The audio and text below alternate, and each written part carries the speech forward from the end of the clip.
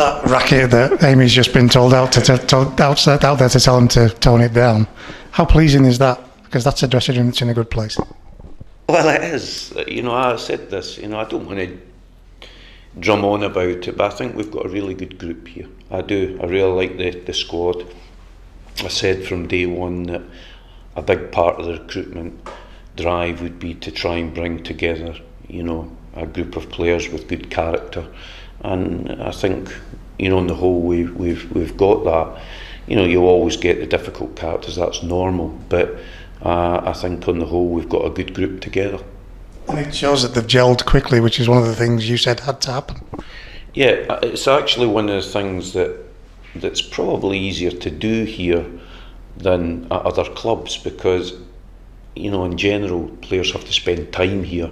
They have to stay overnight here. They, a lot of them are in together in the the the digs that we have. In fact both houses are are full now. So there's a lot of camaraderie in there. You know there's cooking groups in there. There's all sorts in there. So it's brought them together, and that's one of the pluses. Although at times I've said this, the geography of the club is difficult at times to convince players to come here.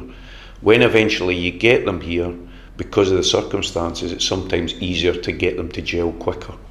Four down days, including Sunday, you can tell from the way they've come back how much it meant to them. Was that planned? Is that something that you had to, to help them mentally? Yeah, it's part of the, the, the, the planning. We had it planned from day one that we are trying to work in the six week cycles, really intense work for six weeks and then three or four days downtime. And I think that it's not just the physical aspects that we, we want to give them the downtime from, it's the, the, the psychological. And also, you know, when you, you're certain types of coaches and you're driving in a certain way, they don't want to hear your voice you know, every day a little break from that, a little break from thinking about the tactics every day. Just the break of routine is a good thing, I think. And then they come back recharged and ready to go again. So it's how we work, you know, and that's regardless of Saturday's result. It's not going to be dependent on Saturday's result. Saturday's result doesn't go right, ah, we have to change. No, that's how we're going to work. We think that this will work, and this is how we want to go about it. Swindon's first home league game on Saturday. How much does that factor? Because they'll have that nervous energy that goes with it. Yeah, but they'll also have a lot of confidence, and um, I could see in some of their attacking players on, on Tuesday night when I attended the game that they're playing with a lot of confidence just now.